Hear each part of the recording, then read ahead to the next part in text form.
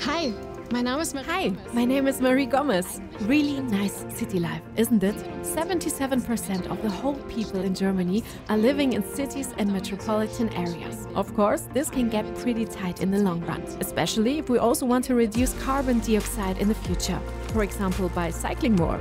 Truly, this also means less space for cars and thus new challenges. What about the many transporters? Medicines have to go to the pharmacy, baked goods to the branch, and we all want to be supplied too, right? In Germany, 4 billion parcels are sent every year. That's about 100 packages per household. Certainly, it would be smart not to deliver them all in vans. They're clutching our streets. We want to take a close look at this problem or the solution to the problem. That's why I'm meeting Niels now. He works at Rytle, a joint venture of the Kroning Holding and the Orbitak AG. So a lot of experience in the field of logistics are given. With Rytle, new ground in the last mile delivery has been established since 2017. Niels, I just mentioned the term last mile delivery. What does that actually mean? For Rytle, this means that we develop solutions and a wide variety of products for sustainable and future mobility. Our products include smart cargo bikes, interchangeable boxes, micro depots, telematics, sensors, and our own software. And part of our customers really include the big logistic companies, but now, of course, also other sectors that want to revolutionize something. But cities and municipalities are also questioning their processes and, of course, trying to find more sustainable, ecological solutions and transport routes. Sounds really great, and you've made me very curious. May I try one of your cargo bikes? Marie, certainly. Cool. Of course, there are various options for this last mile, such as this Treeliner here. Everything that is having electric support is clearly smart. Well, you can transport more weight, and everything that is smaller than a classic van does make sense, right? But let's face it, a lot has also happened with the cargo bikes.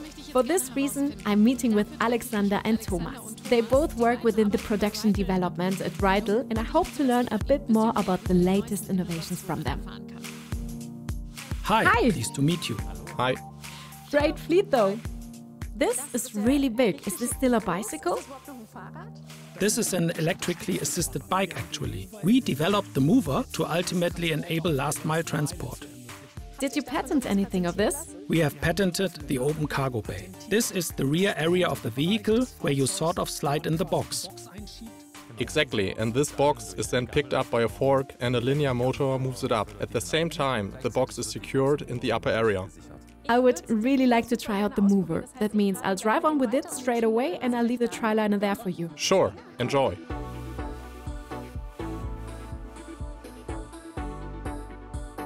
Cargo bikes are nothing new, but this mover here is certainly special and very easy to drive. The biggest feature, however, is this exchangeable box behind of me. And hopefully, I'll find out from Johannes what this is all about now. He's developing global strategies and is keeping an eye on the worldwide implementation of the holistic rider solution. I've got a transport box with me. It probably has to go in here, doesn't it? Our holistic system at Rytle also includes the City Hub. The interesting thing is that it can be used here as a micro depot. This means that in the external warehouse, groceries or parcels, for example, are pre-picked and packed into boxes. Those boxes are transported within the hub and will be lowered down and located into the urban area.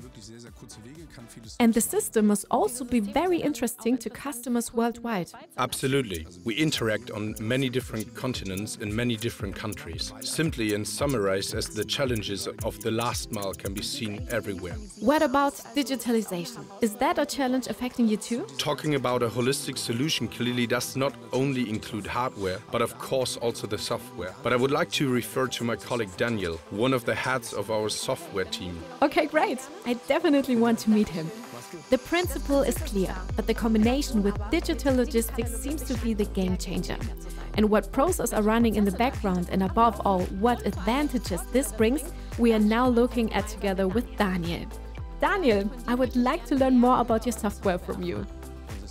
Our software continuously provides up-to-date information about the vehicles driven and this information can be used to increase the operating times of the vehicles and on the other hand planning processes can be based on this information.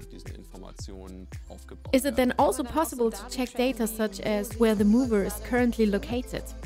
That is a very important function indeed that you can see live where the vehicle is at the moment and then of course you can calculate for example how long the vehicle still needs to reach a certain receiving location. Thank you Daniel for this exciting insight. I really had a great day and took a lot with me. And yes, in the end I'll think I'll do a little extra round with the mover.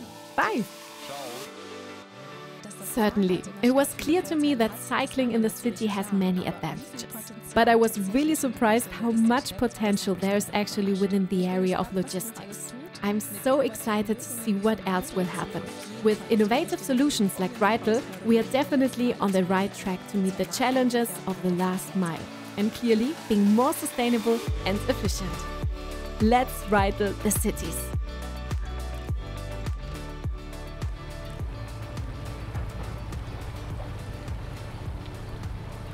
Daddy, what is that? That's the future.